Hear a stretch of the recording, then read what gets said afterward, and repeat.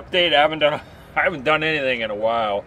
I'm uh, up in Virginia now. I came from the Keys up to Virginia. I've been hanging out here for like uh, since May, and uh, I ordered a electric XB 2.0 bicycle. It's been like 10 weeks now, and I still don't have the damn thing. Uh, been calling the company. I paid for $159 for expedite fish uh, to expedite uh, the delivery. Don't do that when they ask you. It's not worth it. All they do is give you a shipping label, and I that's been two weeks since I did that. I still haven't got anything, so that's definitely not worth it.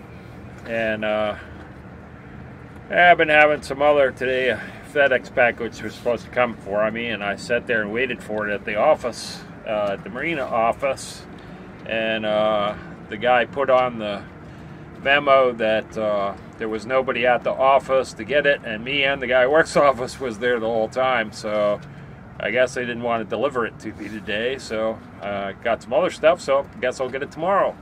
But anyway, so I'm up in Norfolk. I'm waiting. I got a friend and we're getting his boat together so we can go to the Bahamas this year. And I figured I would do a uh, review on the Whaly now that I've had it for a while. That's the Whaly 310. I got that out of uh, Fort Lauderdale, Ford, Florida. It's a giant. Uh, oh, it's a giant plastic uh, formed dinghy, molded dinghy. I'll give you a picture of it here. And there she is. Okay. So let's pull her up here. I got a uh, 9, 9.9 on it. Hold on. I have a 9.9 on it. So it's uh, that's the biggest engine that was uh, suggested by the manufacturer. Uh, I had the Porta-Bote, but the problem was is uh, they were suggesting a 2.4 and I put uh, six on it, you know, so more power. But uh, yeah, that pretty much ruined that. So let me get this up here. So I ended up blowing the transom out on it twice and I almost lost my engine, my six horse engine. Uh, yeah, so I, I almost lost my six horse engine twice. So I decided I had had enough of the Porta-Bote, and uh, last time it blew a gasket was down in the. Uh, now where were we?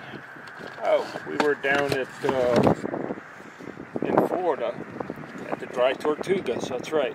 We were in the Dry Tortugas trying to get back, and the thing was just falling apart. I had to go real slow so it wouldn't fall completely into water and I almost lost my engine, so I decided uh, when I got back, I would uh, do away with it and get something that's going to last me a while. So, hence, I got the Whaly 310, which you can see is uh, it's it's 10 foot 5. It's a little bit less uh, length than the old one. I got a Yamaha 9.9 and put on it because that was the largest they suggested. Uh, there were some sites at the uh, not the manufacturer. The manufacturer said 9.9, but the other sites said 15. Don't put a 15 on it. It's 9.9. Uh, they're, they're, just trying to get you to buy the boat with a bigger engine, so that doesn't work out. Uh, I didn't really modify it much. I did put the uh, cushions on it, the bumpers from the uh, Porta-Bote on it because this is a hard plastic thingy and when it hits the boat it makes a horrendous noise. Uh, right now it's a little dirty but that's okay. Um, it okay. What are the pluses to this thing? One of the huge pluses is, is this thing has four cup holders. Uh, the minus with the cup holder, as you can see, eh, you might not be able to see, but there's all kinds of water. There's there's no way for the water to get out. It does have a compartment here, which you can see I throw my anchor in there, extra line, a little dog leash, some extra shoes, because I seem to be able to go to shore all the time and forget my shoes. The locker has a hole right here to drain. Uh, I implemented my uh, uh, fish ruler over there. I did put this in because I saw people who were uh, who were saying that they were pumping theirs out or whatever. Uh, so I put a access hole. So it's pretty good. There's actually foam starting right about here and goes forward, which I did not know. So that keeps the uh, seat stiffer and it also keeps up. You can see it's there's nothing in there, but it does make a good deal so you can uh, you know you can throw your flares or radio in there, something that'll stay dry. You can put a little dry bag in there or not.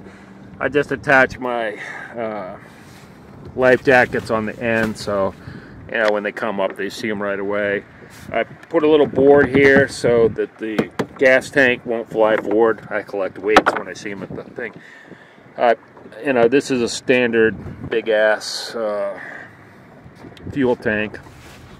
I got a couple of them, so I fill one and then I use one. Uh, one of the big deals is, as you can tell, it's it's really stable. Uh, you know, the cup holders are great. The size of it's great. It has the same configurations as a uh, regular dinghy, uh, where you would have the um, sides come up here with the floats, but this doesn't have the floats. It has seats, as you can see right there.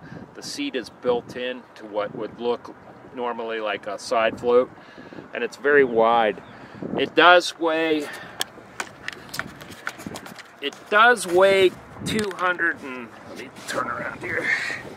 It does weigh 232 pounds, so it is quite heavy. And with the engine on there, it's quite heavy. Now, I, I pull the engine off when I go, I'm going to drag it. If I'm in a spot where I can drag it, I know I'm not going to get in trouble, then I'll drag it a little bit. It, it drags okay. you got to have lots of line out with it. It doesn't have a three harness system on it. It's just got one in the front, so it does. You got to watch it. It does tend to wiggle back and forth if you don't watch it. Uh, you can put probably put a couple of you know hooks up there and, and uh, drag it with three, but I don't drag it that often. If I go out in the ocean, I turn it out and put it on the deck. Uh, as far as putting it on the deck, it's a lot harder putting it on the deck and getting it back on. I use a halyard and pull it up after I turn the mo take the motor off and pull it up. And I have to flip it over on the deck and point it toward the mast and so that I can get it on. But that's because I have a small boat, and this is a this is a pretty big dinghy. It's pretty wide. It's very substantial, unlike the porta boat. Once I got a couple people in it, it kind of was iffy. Uh, you know, you couldn't go out if the uh, water was was a little bit rough.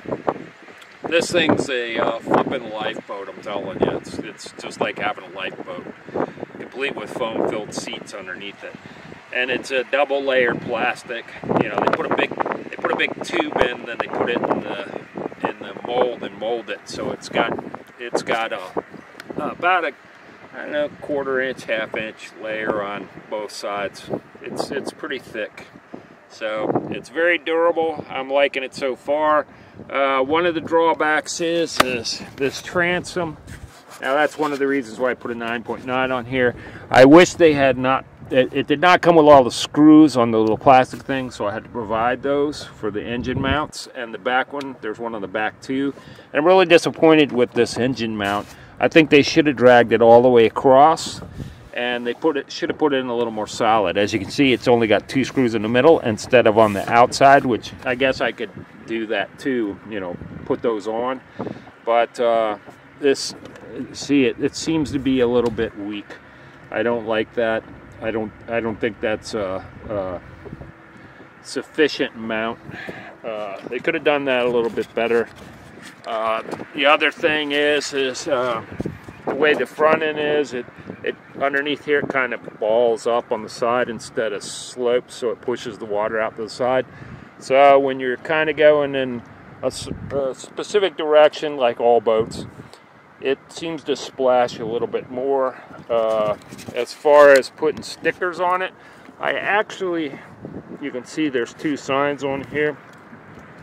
I actually went to Lowe's and got two fire, they were some kind of fire extinguisher, something stickers on the inside here, and I just flipped them over and put stickers on them and screwed them in, screwed them straight in to the uh, into the plastic, and uh, that seemed to work pretty good. So you know, overall, I'm really happy with the Whaly. It's a little bit slower than uh, than the six horse was on the porta boat, but uh, it is a whole lot more stable. I mean, you can fish out of this. The floor doesn't flex like the porta boat.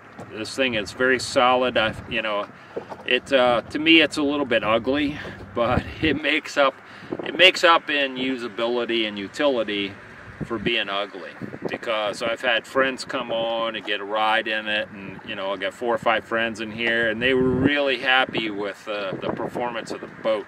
One of the other things that's on here is I had to put uh, one of the fins, you'll notice the big fin on the back of the motor. I had to put that on there because uh, the boat really just rocks. As soon as you start going, the bow just goes right up in the air. I mean, the bow's already pretty far up in the air when you start. Well, the bow goes right up in the air, something ridiculous. So you really have to compensate with uh, that fin thing. So you're going to need one of those regardless. I've, I've, you know, I've never seen anybody else. I've seen other people with them, and they put the fin on there too. And they said they had the same problem.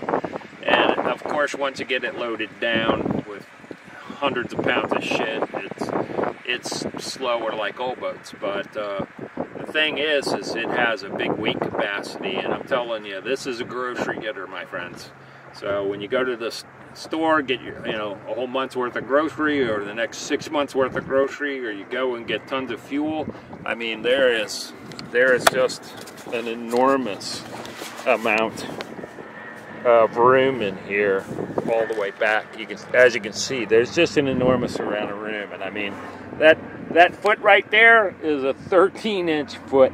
So I wear, it, you know, 13s. So as you can see, it's it's pretty tall. I mean, I don't even come to the top of the deal. So there, this is a big cavity in here for fuel and groceries and people and bicycles and all that stuff. I port my bicycles and my dog and and uh,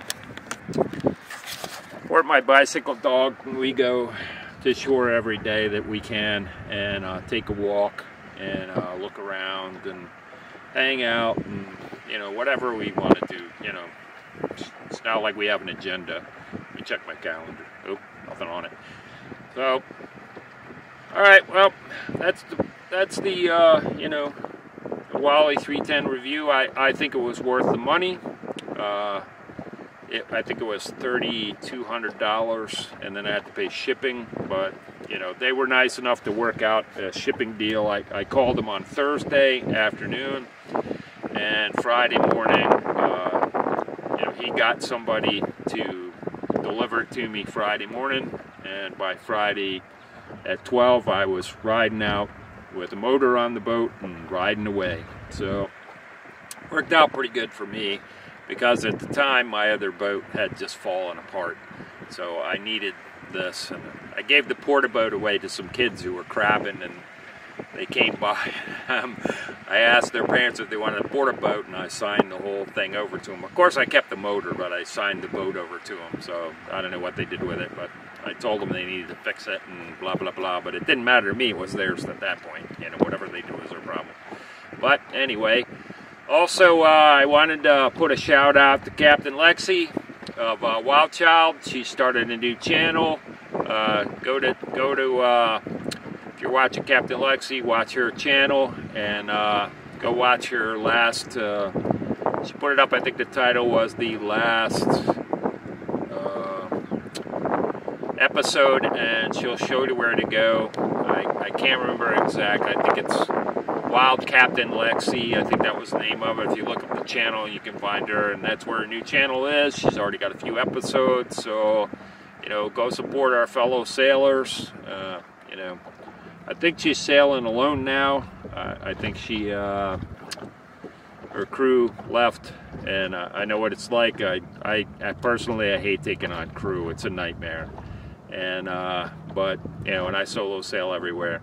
But uh, this year looks like uh, you know, barring the COVID Delta variant, uh, going to the Bahamas finally. So last year we didn't. We went to the Dry Tortugas, and uh, you know, Suzy enjoys everything we do, but she is a dog. But uh, yeah, we're going to go down in October. We're going to spend some time in St. Augustine as always, and uh, we're going to spend a month there. I'm going to go visit with family over Thanksgiving. And then we're going to head down to probably Miami, the Key of Biscay, and uh, sit there and stage and uh, do supplies and be sure everything's up and be sure we got, you know, enough liquor and food and, and whatnot and whatever else we do. And uh, then we're going to boogie across. And we're going to do our 48 mile day sail, day sail across to the Bahamas and check in at Bimini. And uh, the plan is that uh, we're going to go to the Exumas. You know, we're going to visit all the normal goofy spot. We got to go to Norman's to see the drug smuggler stuff and the planes and Staniel and the pigs and the lizards and, you know, whatever else we do. And uh, I'm hoping not to come back in, until June. If I come back to the States, which is the plan at the moment, but plans have a chance to uh, change frequently between now and 10 minutes from now. So uh, you know, might head somewhere else. I don't know. Depends on what I do, who I meet, uh, where we go, what, you know, all kinds of things. There's a lot of factors. What's going on with the COVID, you know, all that nonsense. So probably can't say COVID on the YouTube. I'll probably be banned, but I'm not monetized, so I don't really care what they're gonna do. Demonetize something that's not monetized. So y'all take it easy. I'll see you next time. Enjoy.